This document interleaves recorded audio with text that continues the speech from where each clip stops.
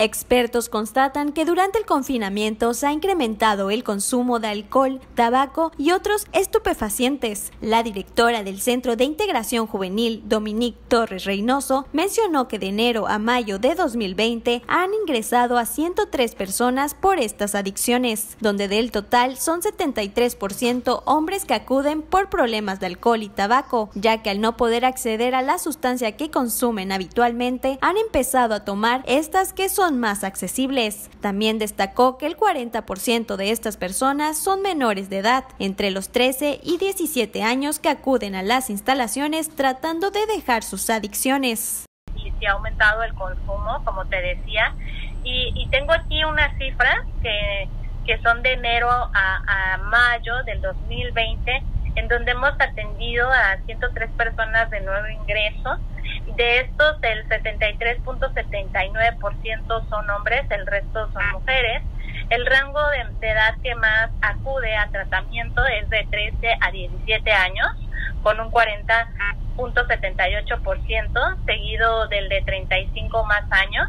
con un 25.24%, y de 18 a 25 años, con un 20 a 20.39%. Las sustancias pues más consumidas por nuestros usuarios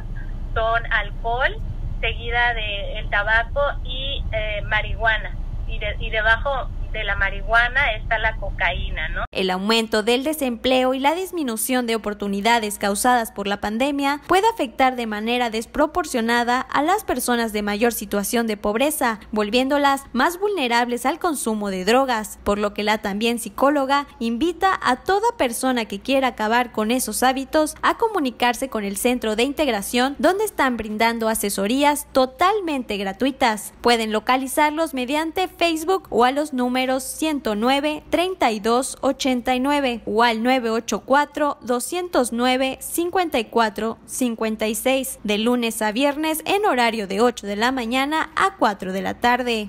Eh, bueno, sí hemos visto un aumento, un aumento en la solicitud de tratamiento, sobre todo pues para las personas que consumen alcohol y cocaína y, y bueno pues también ha habido de nuestros pacientes pues personas que han recaído en, en el consumo y, obviamente pues les hemos estado dando un seguimiento a su tratamiento y rehabilitación. Eh, a partir durante toda esta contingencia sanitaria pues hemos puesto a disposición de la población dos líneas telefónicas para apoyo psicológico que son totalmente gratuitas y asimismo hemos trabajado de la mano con el 911 y con CIPINA este, y bueno, pues nosotros seguimos la atención a nuestros pacientes ahora pues con esta modalidad a distancia, es decir, pues vía telefónica, ¿verdad?